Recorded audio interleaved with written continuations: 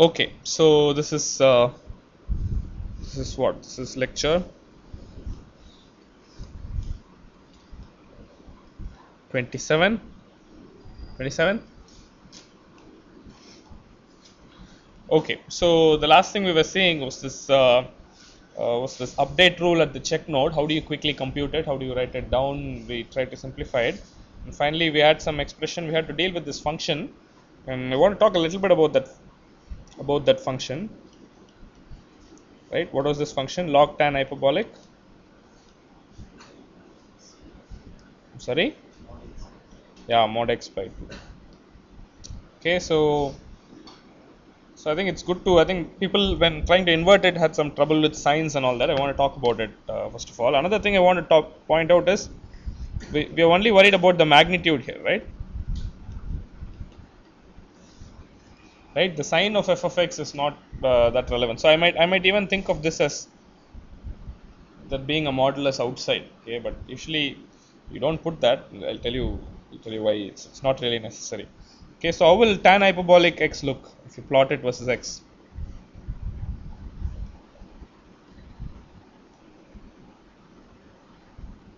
Yeah i don't know maybe x by 2 okay how will that look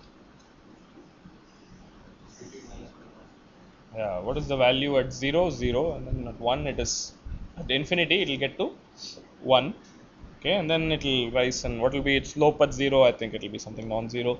So it will get some it will start off somewhere and then go this way. If i just do x by 2 you would get uh, up to minus 1 if i do mod x by 2 it will only go in that way. But anyway I'll, I'll plot x by 2 so i'll get something that looks like this okay so what's important is it lies between plus 1 and minus 1 okay? So to be able to take logarithms and all I have to do modulus but what will happen if I take logarithm of tan hyperbolic of x by 2 will I get a positive value or negative value? It will all be negative right? Because tan hyperbolic is x less than 1 okay? So if you take logarithms you're always only going to get negative value. So log of tan hyperbolic of x by 2 after you take logarithms will always be negative okay so you can as well add i mean you can take absolute value and add add that's what we want. That's the same as just adding and then ignoring the sign at the end just taking the positive magnitude value. Okay so if you were to plot this function f of x if you want to be careful about it it would look something like this. If you just plot x versus fx okay for the positive part it will look something like this. Okay? It will be a function like this and it will be symmetric around the x equals y line. Okay so that's what i claimed by saying it's its own inverse right? If you swap the x and y axis the function doesn't change. It looks exactly the same okay? So it will be symmetric that way and that you can show. Okay yeah yes, yes the value is negative always. Yeah you, I mean you might have to do minus f of x minus minus f1 or something but, but it doesn't matter. If you only worry, worry, only about the magnitude you might as well flip it up and put it there okay? So we'll have some minus sign issues but uh, but I'll for simplicity I'll simply write f as being its own inverse. And I'll write f of x is log tan hyperbolic mod x by 2 okay? So the sign problem is understood and you have to take care of it when you uh, when you do your uh, okay? Hope that's clear. Okay, so there'll be one uh, issue. So so when we deal with this function f of x I'll simply write f of x as log tan hyperbolic mod x by 2 and I'll say f of f of x is x. Okay? So there is a sign up to sign these things are true. We'll just take sign only only magnitudes. Okay? Since all of it is negative this will work out properly. Okay. So there's one comment I wanted to make about the derivations we did last class. So let's proceed now. So let me rewrite what is it that we had. Okay? So if you have okay? So this is the recap of what we did last class if you had x being y1 plus y2 plus so on till y let me say d okay then and if pi 0 is probability that yi is 0 and uh, let's say there's one more uh, thing no so and yi is the log likelihood ratio right? So log of uh, pi 0 by pi 1 okay. Then yx we are able to write as write in two ways. Basically the the magnitude of yx will be what? F of summation i equals 1 to d. F of y okay and then what about sign? What? Product of the signs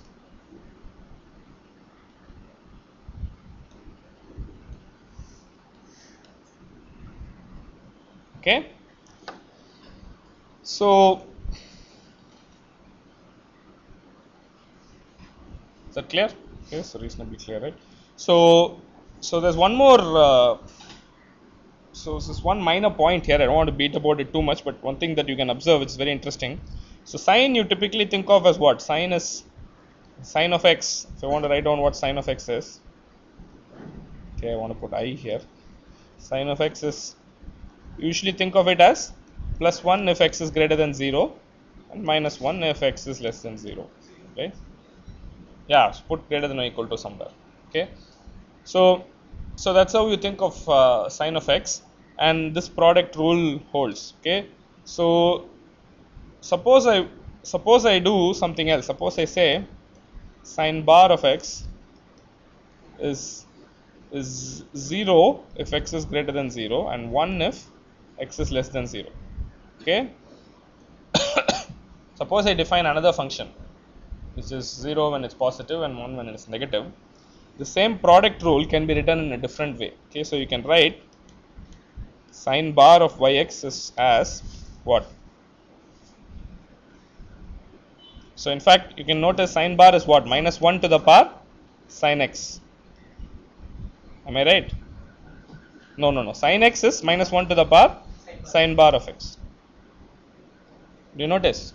Okay so if you do this replacement here you will see minus 1 to the power sign bar of yx equals product of minus 1 to the power sign bar of y. So when you multiply it out you will see you will get addition okay? And then addition I can do modulo 2 the reason is minus 1 squared is 1 so I'll get the whole equation to be consistent okay?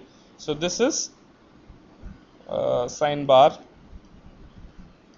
of y1 plus sign bar of y2 plus so on sign bar of y2 okay so basically the reason why you do this is in your uh, implementation or your program you can deal with the sign separately and the magnitude separately okay? So that's an that's an advantage in some cases the sign will go in one way and then your magnitude will go in one way. Then you multiply the sign and magnitude to get the final uh, final actual value. Okay so that those are things to uh, keep in mind when you want to implement. So you can deal with it in uh, different ways. Okay so bit is always better. Storing minus 1 and plus 1 might be a little clumsy in implementations but 0 and 1 is always easy to understand. Okay so those are a few comments. So let me go back to the the message passing decoder now so i'm going to go to the soft message passing decoder. When we last left it we were looking at what? What were we looking at? We were looking at step b of iteration 1 right? So that's what we were looking at. So let me write down what that is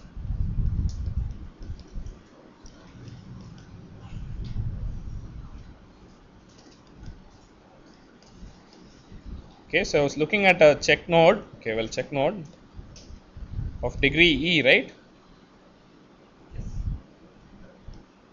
Okay and i said the messages that it would have received in step a we will suppose are yi1 yi2 yie so those are my log likelihood ratios of the corresponding bits that are connected on the other side of those edges. Okay so that's what it would have got right? So that was received. And uh, now some processing needs to be done. So what is the processing? Suppose you concentrate on the first edge. Okay we wanted to figure out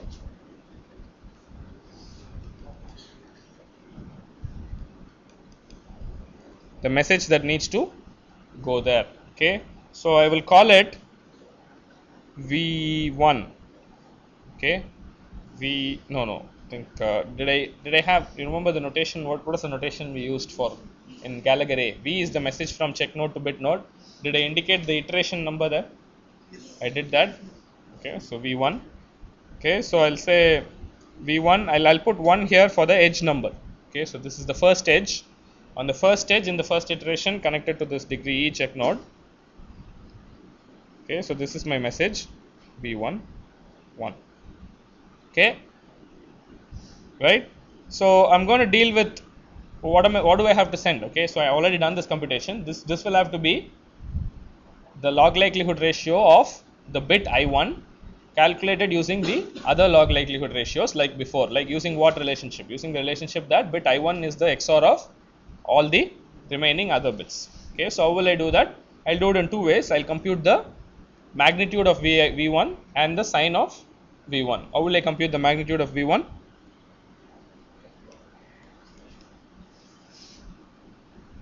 i'll use this f function right? f of f of what? Okay. Yeah y y1 by 2 am i right? f of y1 right? Okay i've defined the function to be that itself plus f of y2 no i think yi2 no? I'm sorry. I'm sorry. Even the V is V. okay yi2 yi3 am i making a mistake? Why is everybody staring at me? I don't have to write modulus right? Yeah it's already there absorbed inside the function. You're right. Let me write it down once again. Yi2 okay i'll just quickly erase the whole thing. Okay since the modulus is already absorbed into the function i might as well write it as f of yi okay yeah i mean i could have written a sigma i just didn't want to write it i wanted to write the whole thing out. But remember this is my magnitude. My f is only going to give me positive values right? It won't give me negative values. So this is the magnitude. How, I, how do i do the sign? Okay I, I can do it in both ways. I can either do sign of v1 or sign bar of v1 both of them would be the same i would do sign. I mean, you, can, you can convert to sign bar if you want. The sign of v1 one would be what? Product of sign of okay so I, I won't do product i'll just write it out. I'll write it out fully i'm sorry for this. Just to show how it works right? Sign of yi2 sign of yi3 so on till sign of yi so this is what i would do for the first edge. How will i do v v21 okay so how do i do v21 on the second edge what would i send? Yeah I just skip the yi2 in all the summation but include yi1 okay so the magnitude if you were to do it will have to be f of f of yi1 plus f of yi3 right? And you go on to f of yi okay so likewise you can write an expression for sign. The product will involve yi1 to yie it will not have yi2 okay so likewise if i keep on writing what will be magnitude of ve1 okay so i'll have to do the summation from yi1 to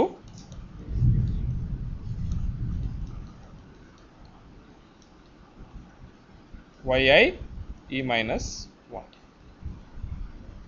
okay so those are my update rules in step b of the first iteration for a degree e check node. Okay all the e messages that it will have to send out back to the bits that are connected to it you'll have to do this. Okay if you were to actually implement this right if you do it brute force if you compute each magnitude separately it will involve a lot of additions. How do you simplify your uh, computation here? Add all of them and subtract one at a time to get each of your magnitudes. Okay all of them are uh, positive it will work out that same way for the sign how what will you do for the sign multiply all the signs and then then you multiply out one after the other to get the individual things. Okay so those are simplifications you can do in your actual implementation okay so that's that's the expression it doesn't look too scary now okay so for any e one can do this without uh, too much confusion Okay, so let's go to iteration 2. Sorry, which suffix I?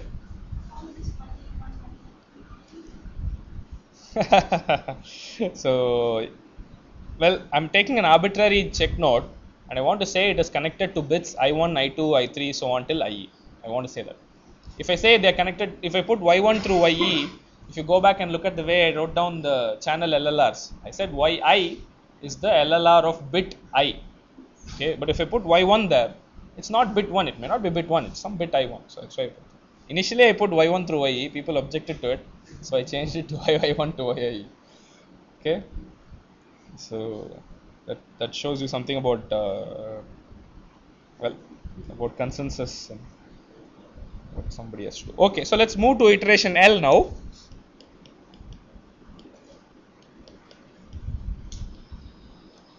Step A. so what's going to happen to a degree D? Okay, bit node, I need to put a circle.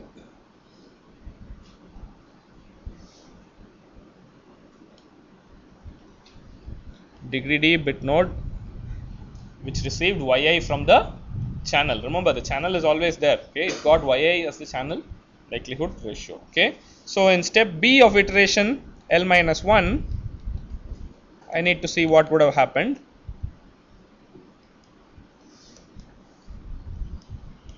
Right, this same bit node uh, would have received what? It would have received d different messages. And in my notation it, I'm going to see um, there will be a notational ambiguity here. I'm going to simply call it with v l minus 1 I'm going to say 1 to d. Okay so hopefully you won't confuse with the previous thing. I'm, just simply calling them just for ease of uh, notation. It's possible to be consistent. It's possible to number all the edges if you want and then put that suffix as the edge suffix. Okay I'm just simply so you see what I mean, right? You number all the edges and every edge you can put a suffix there. I'm just not doing that. I'm simply calling it V1 through VD for convenience. Okay, so it's possible to do that. Okay, those are its messages. Okay, so now I have to figure out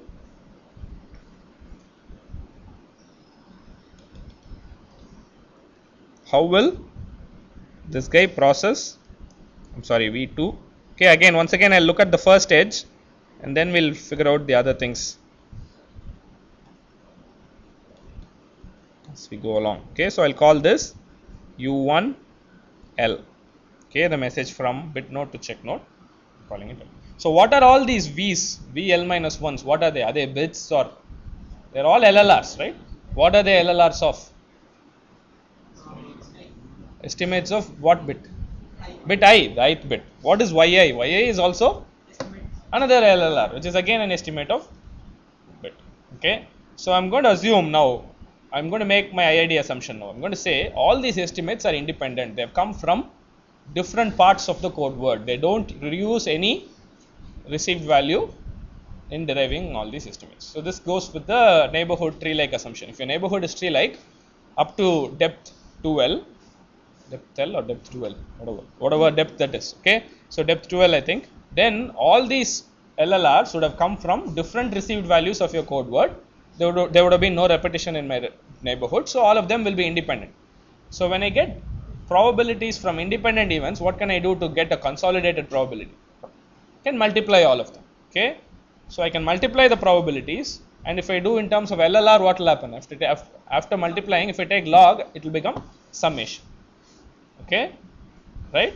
So the message U1L should be an updated LLR which uses yi V2 L minus 1 through VD L minus 1. So a very simple nice thing using the IID assumption to do is to say V1 uh, U1 L will be yi plus V2 L minus 1 plus so on till VD L minus 1.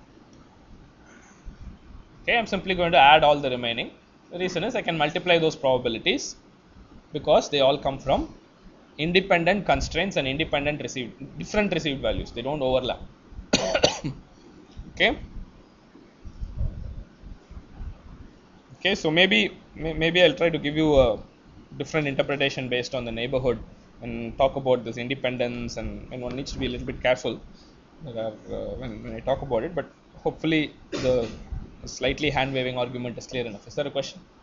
check not like you add one check condition there, therefore getting some higher it will be some So I don't have a, okay. So the question is, see what I'm doing here is very different from what I'm doing at the check node. Do you agree? This is not what I did at the check node. Okay.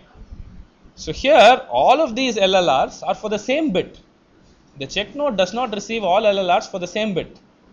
It receives LLRs from different bits and it has to update one of the LLRs according to the condition. Here all the LLRs are for the same bit okay so using the other so so the way to think about it is okay so i'll do it just uh, so that you can get a picture in your head okay? So think of the tree okay the neighborhood tree. This u v2 l minus 1 is coming from one part of the tree which means it will include all the constraints of the check nodes in that part of the tree and all the received values from the bit nodes in that part of the tree. V3 l minus 1 will come from another part of the tree okay? It will include all the constraints of the check nodes in that part of the tree and it will include all the received values in that part of the tree. As long as these parts don't overlap i can simply multiply those probabilities and and say that the overall value i get after multiplication includes the entire tree. All the constraints have been included and all the received values have been included. If you do all that so what am i trying to compute? Remember i'm trying to compute app llrs probability that beta is 0 given the entire received vector and all the constraints are satisfied. All the constraints of my parity check are satisfied. So the way this is going is i'm doing depth by depth on my neighborhood tree. Okay so and i'm consolidating at each part. I'm including more and more received values. I'm including more and more constraints. Okay so that's the way to think about it a little bit uh, further. So i think that's clear enough i think uh, but but you can be convinced at several levels but you should be convinced at this level also. Yes? Why you multiply hmm. why do i multiply? So Sorry? yeah so so what you have to compute is see so the way to think about it is this is this is something uh, some so probability this is a ratio of what? Ratio of some probability that ci is 0 given ri see right? Prob this event right? This is some probability of ci is 0 given ri alone what will this be? Ci is 0 given what? That's the question you have to ask. Given all the other checks and bit node values in the in that part of the tree from which it came from. Okay so that's what it will be. Likewise you have to ask for each of these questions. This will also be probability that ca is 0 given something else that the other part of the tree. What do i want this to be is the next question. I want this to be ca equal to 0 given ri and all these other guys. Okay so maybe i call this as some m1 okay so maybe i call this as this entire thing what all it includes maybe i'm going to call it as some capital m1 all this that include all that is included here maybe i'll call it md okay so maybe i should be consistent i'll say m2 okay what do i want u1 to be? It i want it to be the probability that ca is 0 given ri m2 so on till md all those conditions have to be satisfied. Okay that's what i you know all those conditions have to be included in the computation. That's what i want to do. And since all these guys are independent when i write it down as probabilities and events I can i can multiply those probabilities. Okay? So you, usually you must have been used to independence probability of ab is probability of a times probability of b. Okay? This is also something very similar. Okay? Something very similar. I have I am I'm conditioning on independent stuff and evaluating probabilities independently. When I want to consolidate everything I can multiply. Okay? So when I do that it works out this way.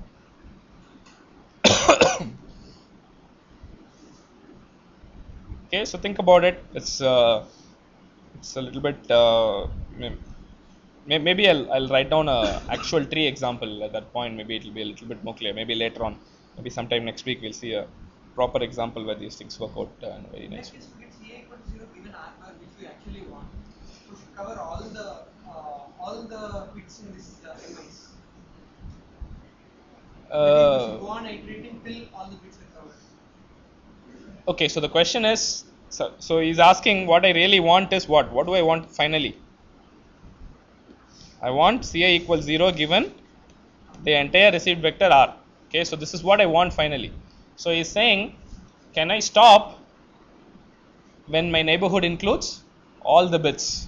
Okay, but the point is one needs to be a little bit careful.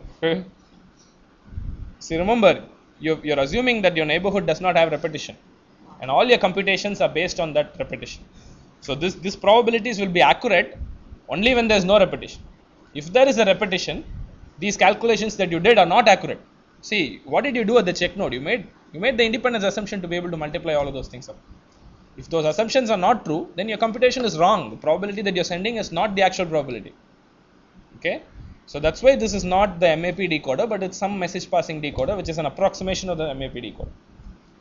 So I'm not. So when I write this down, you should be careful. See, I'm not saying these are the accurate probabilities. These are accurate if my neighborhood uh, tree-like assumption holds. The moment that fails, this is not accurate. Okay. But what I want to be able to do in real life is, even when it fails, I want to be able to run the message passing decoder. Okay, so you remember Gallager A, right? I showed you simulations. Even when those independence assumptions fails, what happens to the message passing decoder? It succeeds. So I want to be able to do a similar thing in the soft decision decoding also. Even if those assumptions are not true, I want to keep iterating, hoping that the hoping that it'll it'll do something good for me. Okay, and that actually happens in soft decoders. So that's why you make the IID assumption and come up with rules which are valid under the IID assumption. And then even if it is violated, hopefully it won't go too far off course. Okay, any other question on this?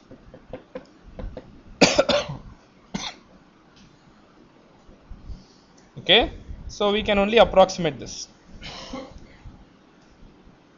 Okay, again approximate also I'll put in brackets because nobody has really shown that these things are true, but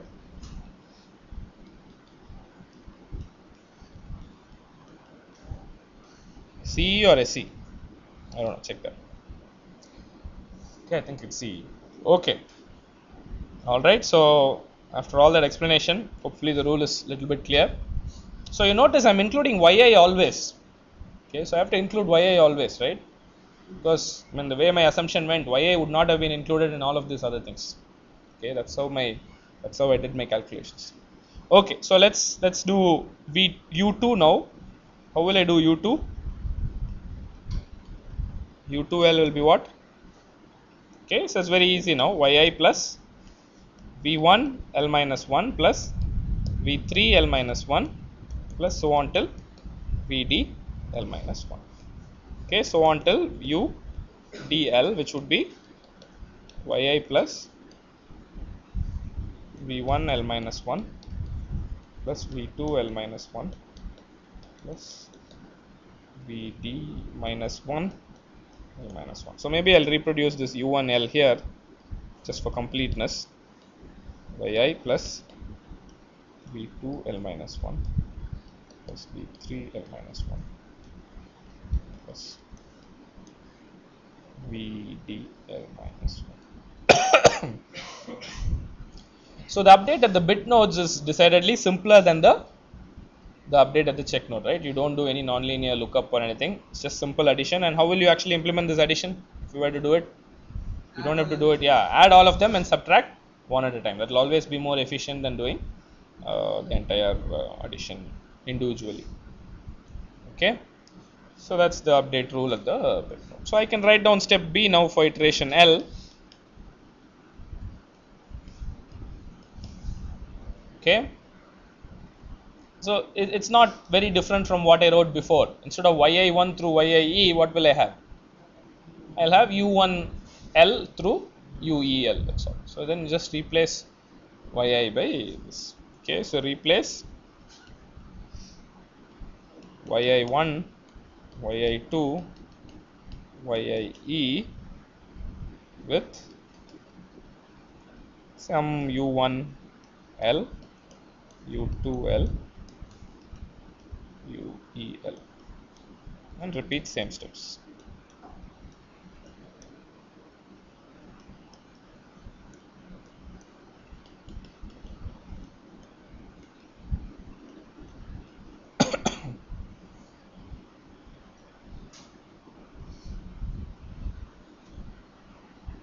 okay So now you can keep on doing iterations, go on and on and on forever, right? As many iterations as you want, you can do. You'll keep getting better and better values. Okay, so there's also a question of decisions. What about output LLRs after a particular iteration? I want to be able to make a decision after every iteration. So how do you do that? So I'll write down here decision after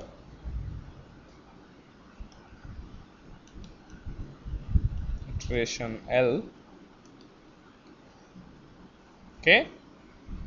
After the in iteration L, after step B, okay, what will a particular bit node get? It will get V1 L so on till VDL, right? Suppose you say this is the degree D bit node, it would get. Okay, so when I want to make decisions, right? When I wanted to pass a message back to some bit node, I had to ignore one information. But when I want to make decisions overall, I don't have to ignore anything. I'll just simply take everything together. Okay, so I'll say output LLR equals yi plus v1l plus v2l plus so on till vd so what will be ci cap after l iterations yeah if 0 if this is positive and 1 it is if this is negative. Okay? And can how do you decide if you can stop after iteration l?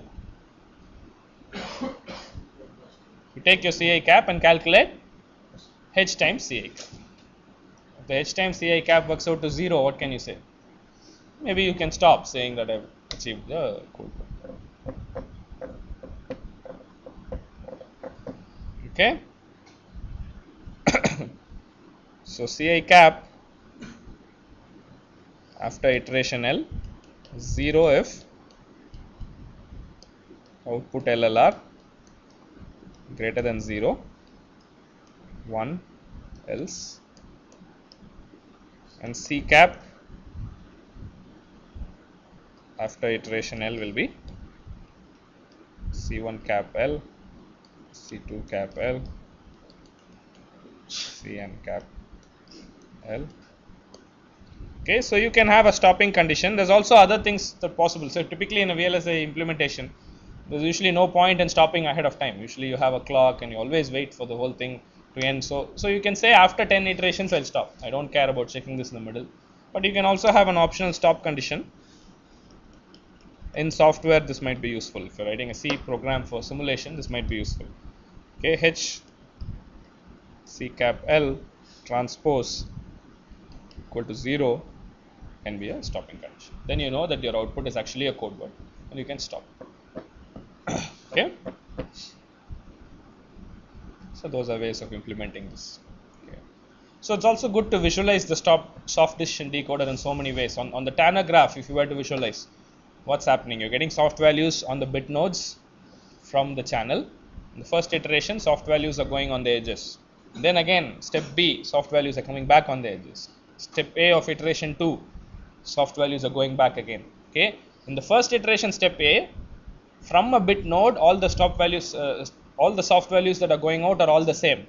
But from iteration 2 onwards that will no longer be true okay? The values can be different on each edge okay? So that's the way to visualize it on the tanner graph in an actual implementation on c or something usually sparse matrices are easy to represent okay? So you can think of those edges as being positions on my sparse matrix just like i showed you the animation with gallager a right? So each of these ones of my parity check matrix can actually represent the message that is flowing on that particular edge okay? So and the zeros on my h will not be anything. They'll be black and then they can be positive or negative. You can visualize it on the matrix also it goes back and forth back and forth. You update the matrix.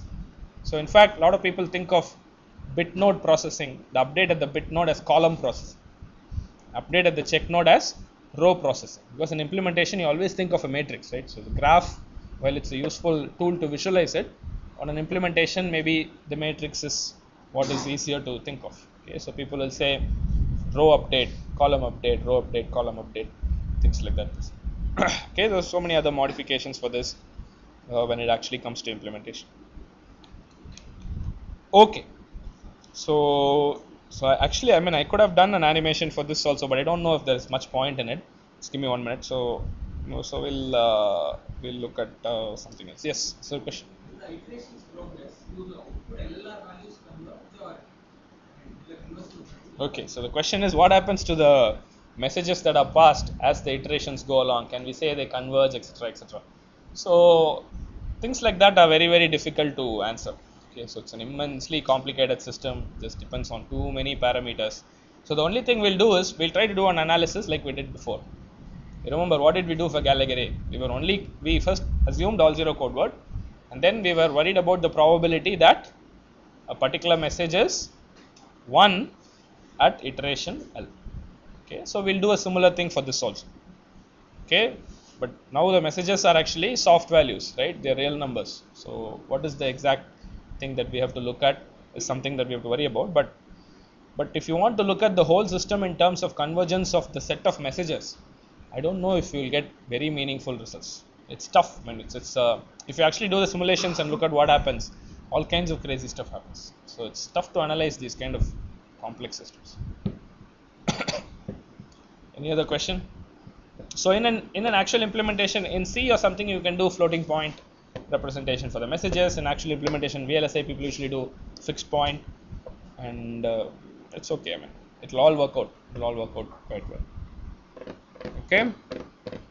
All right. So let's uh, let's start off with the analysis. Okay. So density evolution for soft message passing decoding is the tricky thing, and we'll do that. Okay. So how do we represent uh, uh, soft values in the matrix in animation? How do you want to do it? Intensity of color.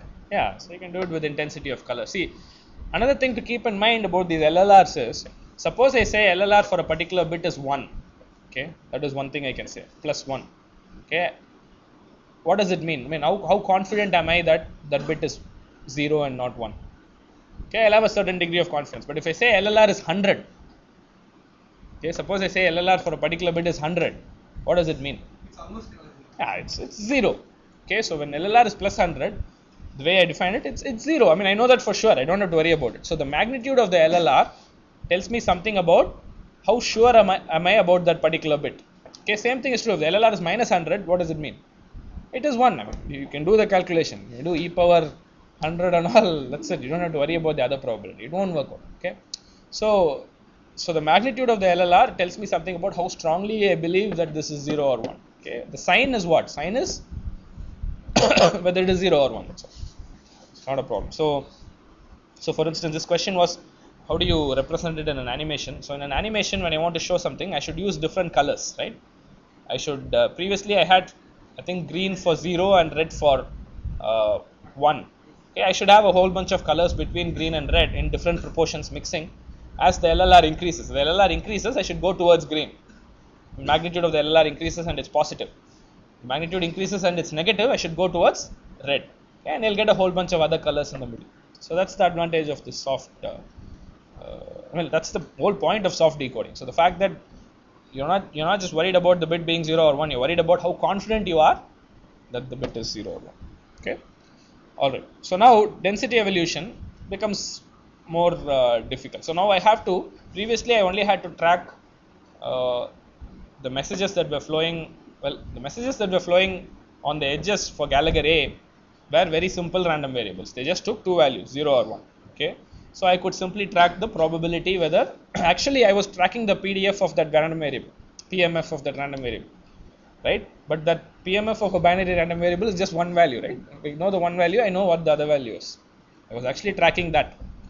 Now also I will try to track the random variable which represents the message that's flowing on an edge. That's what I'll try to track once again.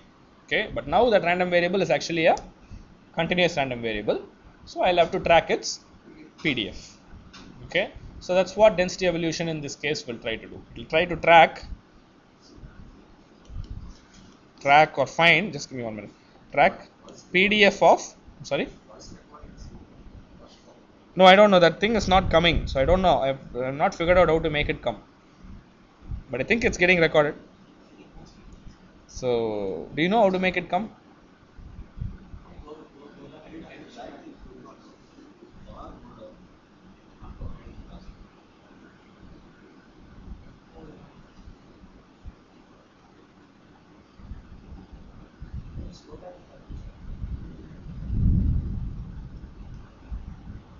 I don't know how to make that disappear.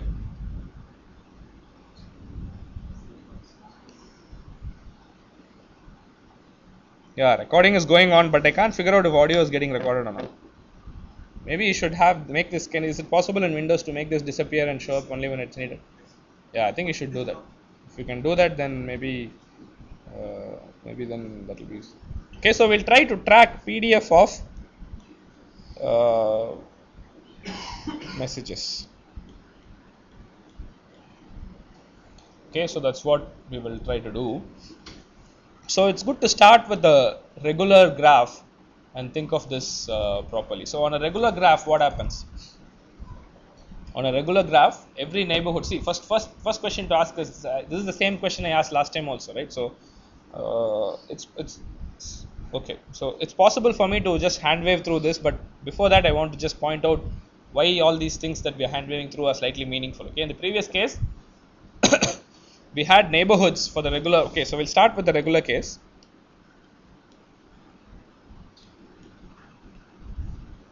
Okay, so so I could I could just track one random variable for the uh, for the message, right? So because the reason is every neighborhood is identical in the regular case. Okay, and the message after L iterations is a function of that neighborhood. Okay, and all the neighborhoods are identical, and if they are all tree like, okay, the random variable I get for the message or the message will pure will will be identically distributed across all bits. Okay, so it's enough if I define one random variable for the for the message that's flowing on an edge. Okay, so that's the first question you should ask, right? I mean, if you have a if you have a graph, you, maybe you should have asked this in Gallager A itself, but maybe people didn't worry about it. If you have a graph, there are messages flowing on different edges, and in real life, for a practical uh, thing with finite n, the different messages will have will probably have different probabilities, right? But we don't we don't worry about it. We're saying we're going to let n tend to infinity since the message is since the graph is sparse for a finite L, all my neighborhoods are exactly the same. So the PDF of the, the random variable or the message that's coming out on the top will be exactly the same. So will will depend on the exact same things in the exact same way. So if I denote a random variable for a message, I can have the same random variable for every edge. I don't have to keep using different random variables to track all of them. Okay. That another thing that helps helps me there is the all zero assumption.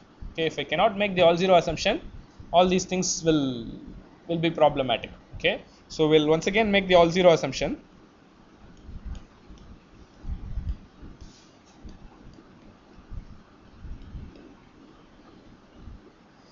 Okay, again this is justified by the symmetry of the channel.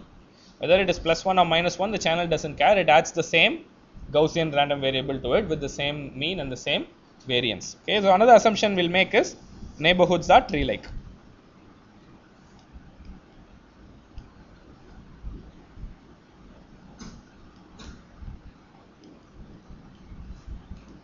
okay since I'm since I have a regular graph I'm saying neighborhoods are tree like all my neighborhoods will be exactly the same and all the random variables I mean all the messages will be according to the same distribution.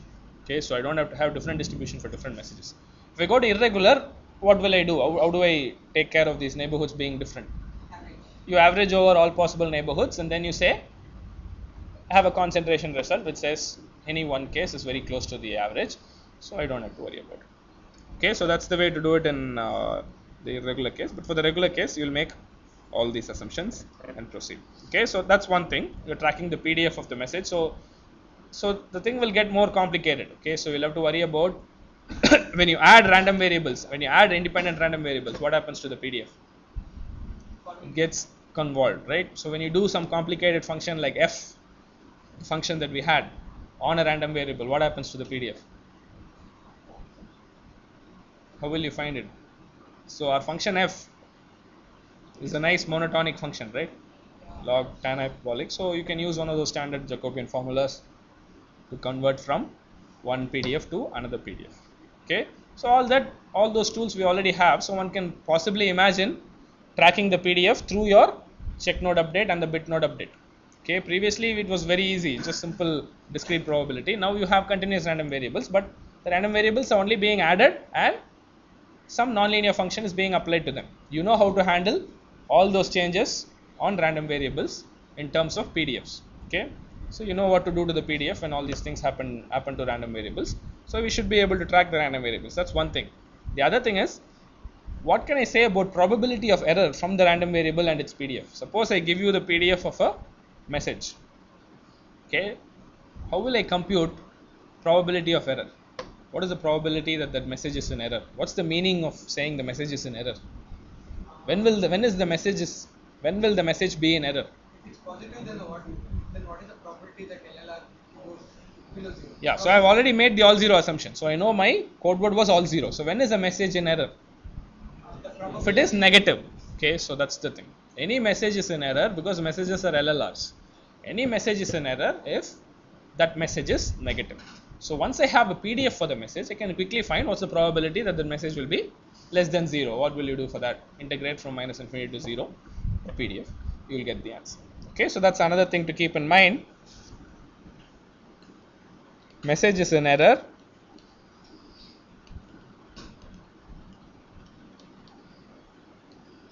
If uh, it is negative.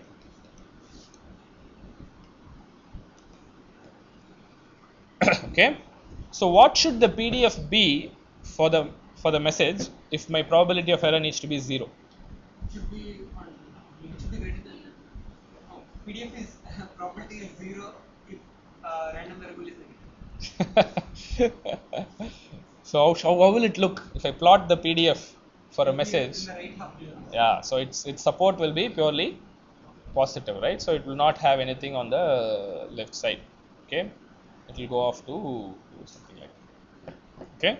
So so that's the thing that we will be tracking. So previously what did we do for Gallager A we, we had this PL and we wanted that PL to tend to 0 as L tends to infinity. So what will we want for the PDF as L tends to infinity? We will want it to move to the right. Okay? So initially it will not it will not be in the right right? You know how to find the pdf for bpsk awgn it will have some part which is negative also. Right? Slowly you will want as you iterate that pdf you will want it to move to the right okay as it keeps moving to the right eventually the probability of error will become zero okay it will well we'll see we'll see how it works out okay so I want to stop here. I don't want to do uh, pick up with that uh, later. We'll we'll start looking at this next week.